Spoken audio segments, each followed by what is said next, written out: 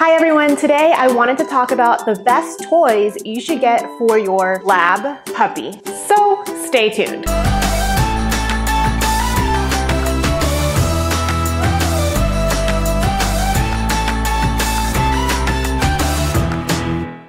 For the best dog training and product advice, be sure to hit subscribe to my channel and hit the bell to be notified when I post a new video every Wednesday. And for those of you who don't know me, my name is Lisa. I've dog sat and trained hundreds and hundreds of dogs and puppies, and I love sharing my advice with all of you. Just so you know, everything I'm gonna talk about today is going to be in my Amazon affiliate store, and I'll link to that in the description below. Without further ado, let's get right into it. So the first toy that I I am going to recommend is actually more than just one. It's a variety of chew toys. So you wanna make sure you have a variety of textures for your teething puppy. I personally like to have some sort of wood toy, a nylabone, something a little bit softer, a rope toy, and an antler. What I like to do is if my pup starts to chew on my wooden table, then I'll redirect them to that wood so they have a similar texture to redirect to. The next toy you'll want to get is a snuggle snuffle mat. I absolutely love snuffle mats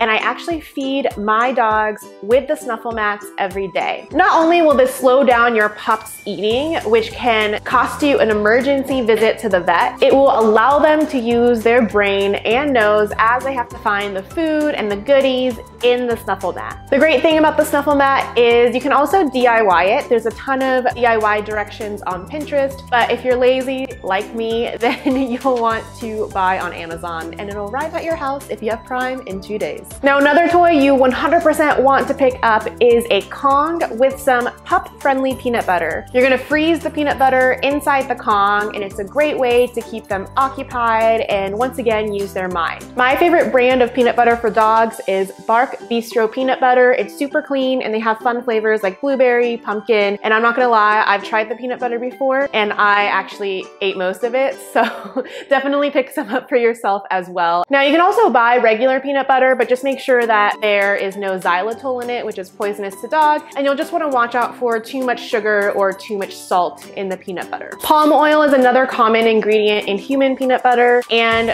while it's fine for them to have in small quantities, usually you'll want to just watch out for them eating too much as it can cause issues. For me, I just like to play it on the safe side. I'll either, like I said, buy the Bark Bistro peanut butter or I'll go to Whole Foods and buy the fresh ground peanut butter with no salt, just so I know exactly what's going into the peanut butter. Last but not least, you'll definitely want a flirt pole. Flirt poles are a fun way to teach your pup impulse control. I have videos coming soon on my YouTube channel on fun flirt pole exercises, so be sure to look out for that. But just so you know, a flirt pole is basically a big cat toy. It's a stick with a string and a toy at the end, and a great way to teach your pup impulse control is asking for a sit and stay before you start playing with the flirt pole and then teaching them a solid drop it cue so that they learn to drop the flirt pole and you can have a controlled game of fun. Now one more thing I want to mention, now this isn't technically a toy, but you'll want to buy some chews for your pup as well. So edible chews.